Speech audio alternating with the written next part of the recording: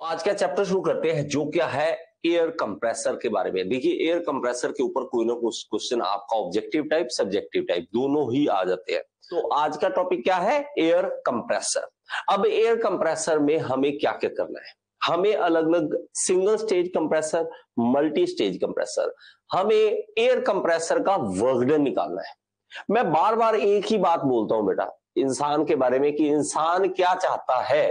इंसान यही चाहता है कि जो हमारी तरफ़ से काम किया जाए, वो कम हो। मतलब इसमें जो होता है, देखो, सिंपल सी बात है, इसमें करना क्या है? इसमें हमने एयर को कंप्रेस करना है। हमें पता है कि एयर कंप्रेस होती है। जैसे इवन मैंने आपको सिरिंज लेके वो एग्जांपल दी तो इसमें भी देखा तो एयर कंप्रेस हो रही है। सिंपल सा एग्जांपल था, बड़ा सिंपल सा एग्जांपल था कि हमारे पास एयर कंप्रेस हो रही है। हमारे पास एटमोस्फियर में एयर जो है ना, वो दूर दूर ऐसे मॉलिक्यूल्स है उसके दूर दूर है। अब इसको पकड़ना है, इसको पकड़ के हम एक यहाँ पे डालते हैं एयर कंप्रेसर में। एयर कंप्रेसर में जब हम डालेंगे इसको तो ये एयर कंप्रेसर क्या करेगा? इसको कंप्रेस कर देगा। इसके मॉलिक्यूल्स को दूर दूर की बजाय पास ला देगा। इसके मॉलिक्यूल्स पास आ जाएँगे। ये जब आएँगे तो वो हायर प्रेशर पे आ जाएँगे। और ये हायर प्रेशर वाला जो हमारे पास एयर एयर है, उसको हम इसके अंदर स्टोर कर लेते हैं। अब ये आपने नॉर्मल आप जब भी टायर में हवा फिल कराते हैं, कार के साइकिल के मोटरसाइकिल के तो आपको यही दिखेगा। क्योंकि इसके अंदर हमारे पास क्या है? हमने यहाँ पे इसमें कंप्रेस कर दिया। कंप्रेस करने के बाद टैंक में डाला। ये क्या है? ये है मोटर देखेंगे तो मोटर, या इसको हम बोल देते हैं प्राइम मूवर क्या बोल देते हैं इसको? Prime mover prime mover main है ये मतलब मूव करने वाली पार्ट यही है। ये चलेगा इलेक्ट्रिसिटी से इलेक्ट्रिसिटी से, और ये इलेक्ट्रिसिटी से जब चलेगा तो ये मोटर चलेगा। मोटर आगे बेल्ट के थ्रू इसको रोटेट करेगी। और जब ये रोटेट होगा, यहाँ पे क्रैंक शाफ्ट है जो क्रैंक शाफ्ट है और ये क्रैंक शाफ्ट आगे जुड़ी हुई है एक पिस्टन के साथ, जो पिस्टन मूव करता है और हमें क्या मिलती है? यहाँ पे एयर को कंप्रेस करने की वर्कडन मिलता है। और हम क्या चाहते हैं? हमारा वर्कडन सबसे कम हो। बस यही हम चाहते हैं। हम चाहते हैं कि वर्कडन हमारा कम से कम लगे। हमारा वर्कडन लगे ही ना, ये हम तो ये चाहते हैं। हर इंसान चाहे तो भाई साहब ऐसा ऐसा चाहता है कि मैं भाई मेरी बॉडी बन जाए जिम कोई और चला जाए। ठीक है? मुझे कुछ ना करना पड़े। तो इंसान चाहता तो ये है, लेकिन हो नहीं सकता ना। तो हमें ये चाहते हैं कि इसमें वर्कडन कम से कम लगे। और यहाँ पे देखेंगे तो एयर कंप्रेसर दिखाया हुआ है। और एयर कंप्रेसर में यहाँ पे अलग अलग पार्ट्स है जो ये देखेंगे आप। तो यहाँ पे प्रेशर गेज लगा होता है। हमेशा देखोगे आप प्रेशर गेज होगा। ये देखेंगे सिलेंडर विद पिस्टन ये है सिलेंडर और यहाँ पे मोटर जो है मोटर इसको रन कर रही है। देखो, इस तरह से रन कर रही है। अब कंप्रेसर जो यूज़ होते हैं वर्कशॉप में बहुत ज़्यादा यूज़ होते हैं बेटा। इसके पार्ट्स एक बार ध्यान से समझ लो ओके ये पिस्टन मूव होता दिखेगा। इसके अंदर हमारे पास यहाँ पे क्या है, है क्रैंक शाफ्ट है। और यहाँ पे हमारे पास कनेक्टिंग रॉड है और ये पिस्टन है। और इसके अंदर दो वॉल्स होते हैं इनलेट वॉल और आउटलेट वॉल तो हमारे पास सिंपल सी फंडा है सिंपल सा फंडा। कि पिस्टन को नीचे करोगे तो इनलेट वॉल्व ओपन होगा एयर अंदर आएगी इनलेट वॉल्व हो जाएगा बंद। और हमारे पास पिस्टन ऊपर जाएगा, जिसके कारण क्या होगा? Air compress. जैसे ही वो कंप्रेस हो जाता है, उसके बाद हम आउटलेट वॉल ओपन कर देते हैं। और वहाँ से हम क्या करते हैं? एयर, कंप्रेस्ड एयर जो है, उसको हम टैंक के अंदर फिल कर देते हैं। यहाँ से आएगा और टैंक के अंदर फिल हो जाएगा देखो इसको वर्किंग देखना आप तो ये पिस्टन जो है, वो ये मूव किया, ये देखो इनलेट वॉल यहाँ पे कंप्रेस और आउटलेट वॉल से ही बाहर। ये देखिए, चल रहा है? ये देखिए, बाहर गया ये देखो। अब इसमें जब देखेंगे हमारे पास क्या होता है, हमारे पास इनलेट जब भी होगा इनलेट जब भी होगा तो अंदर का प्रेशर जो होगा, वो लोअर हो जाएगा। इसको कह देते हैं हम सक्शन प्रेशर सक्शन प्रेशर अब सक्शन प्रेशर जो है मेरे पास, वो यहाँ पे आप अगर देखोगे ओके मैं आपको यहाँ पे दिखा देता हूँ एग्जैक्टली कहाँ पे है, ये देखेंगे ओके तो ये देखेंगे तो हमारे पास सक्शन प्रेशर है। ये देखो लोअर हो गया। लोअर हो गया सक्शन करने के लिए। हायर प्रेशर कहाँ हो गया? बाहर।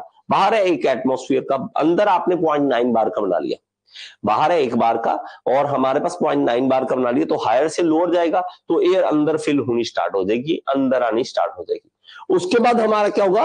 वॉल्यूम इंक्रीज उसके बाद क्या होगा? वॉल्यूम इंक्रीज कर जाएगा। इस तरफ़ वॉल्यूम बढ़ता है ना बेटा?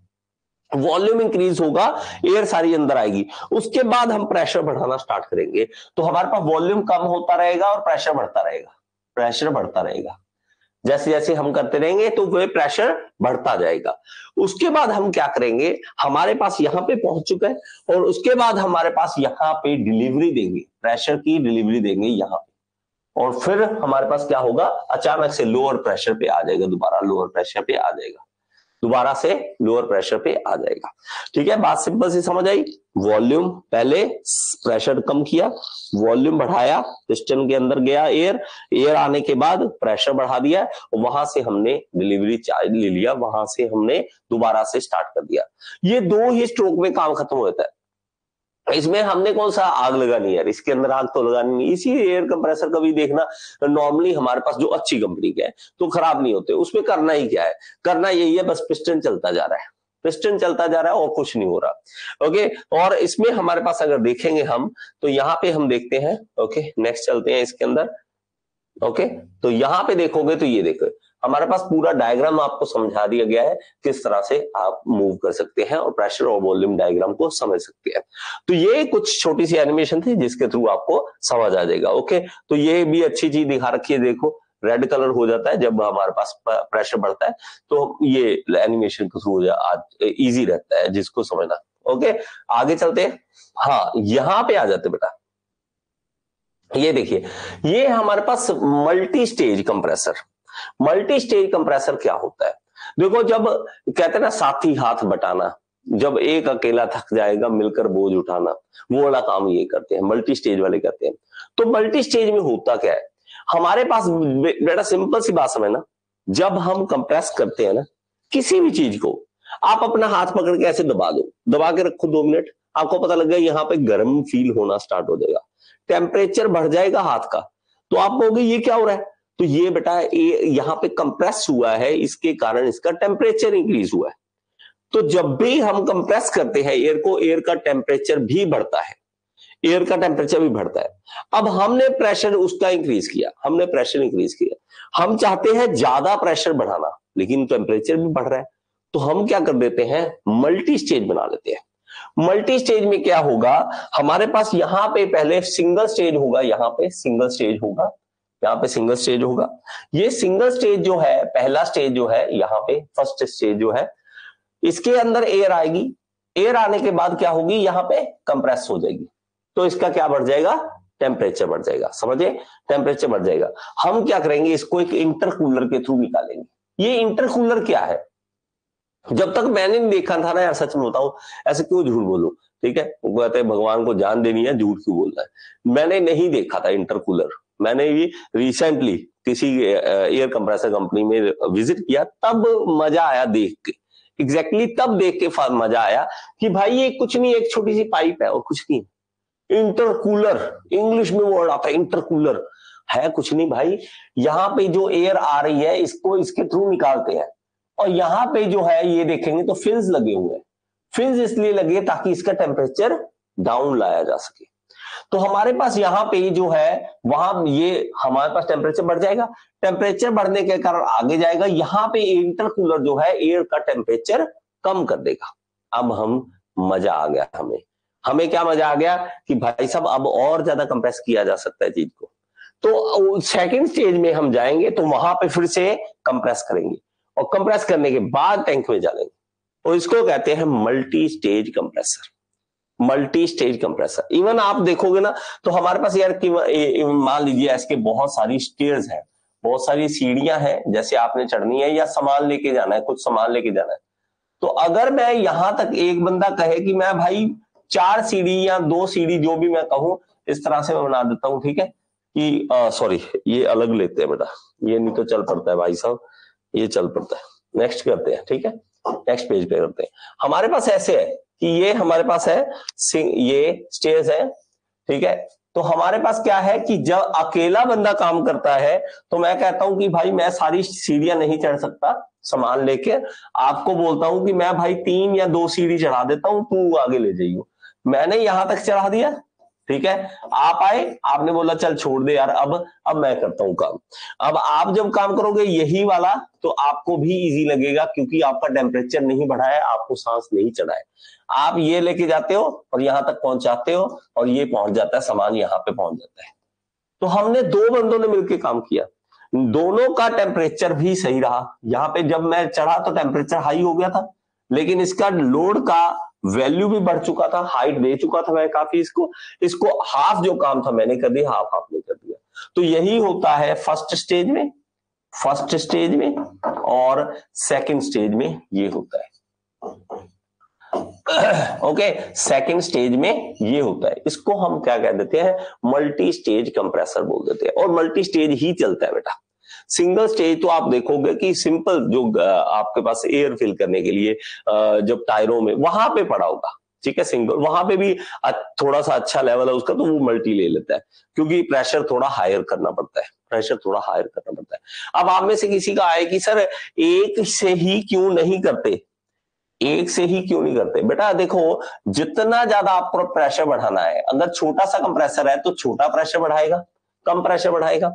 आपको और प्रेशर बढ़ाना है और बड़ा प्रेशर कंप्रेसर चाहिए।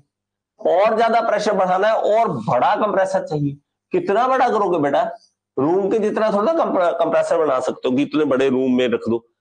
ठीक है? और ये इंटरव्यू में से पूछा गया था तो मैंने यही जवाब दिया था, सर, ये हमारे पास जो जगह है, ये इवन वो भी बचाता है। आप देखोगे तो कितना बड़ा बना सकते हैं। हम इस रूम में रखेंगे तो रूम में खड़े होने के लायक जो जगह चाहिए तो बड़ा बड़ा करते करते कितना बड़ा कर लोगे?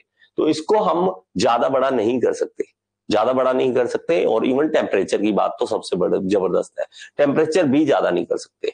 अगर टेम्परेचर ज़्यादा होगा तो वो हमें क्रिएट करेगा प्रॉब्लम। तो हमारे पास क्या है कि ये हमारे पास क्या होगा? बड़ा करने की बजाय हम क्या करते हैं? मल्टी स्टेज में कर देते हैं।